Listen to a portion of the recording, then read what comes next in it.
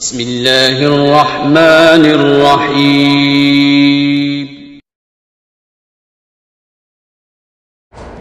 رات کو برتن گندے چھوڑنے سے پریشانی آ پریشانیاں تو نہیں آتی البتہ بلی کتے تو آئیں گے نا۔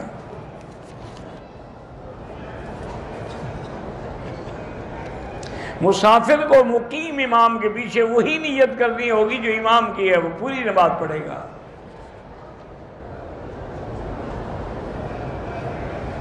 سفر کے دوران اگر وقت ہو جائے، گاڑی نہ روکیں، تو بس جب گاڑی روکے گی، بعد میں آپ پڑھیں قضا۔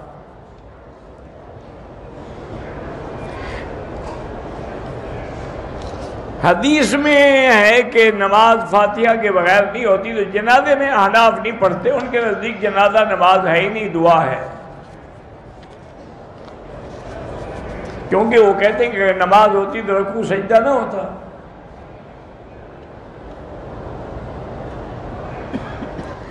عمرے کے لیے صفا مربع پہ جا کے کعبے کی طرح اشارے کرے، وہ ضروری نہیں ہے۔ طواف یا عمرہ کر کے جس کو ثواب دے گے، انشاءاللہ دے گا۔ قصر نماز میں سنتیں معاف ہوتی ہیں۔ محمد کاشم بچی کا نام ہے اور مشال بچی کا، بہرحال ٹھیک ہے، لیکن مجھے پتہ نہیں مشال کیا ہوتا ہے۔ میں عمرے میں تھی، احرام کی حالت میں میں نے کھٹمل مار دیا، کوئی بات نہیں۔ ہر موزی چیز کو احرام میں مارا جا سکتا ہے۔ میں نے عمرہ شروع کیا لیکن دایاں کندھا نہیں نکالا، مقام ابراہیم پہ یاد آیا تو پھر نکال لیا، ٹھیک ہے، کوئی حرج نہیں۔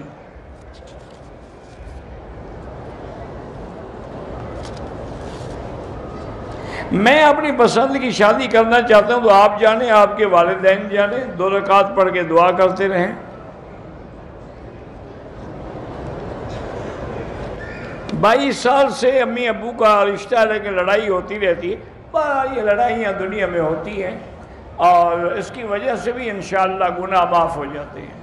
لیکن یا لطیف ہو یا ودود، اللہ کا نام ہے، وظیفہ پڑھ کے دعا کیا کریں کہ اللہ ان کے دلوں میں اتفاق اور سلو پیدا کرے۔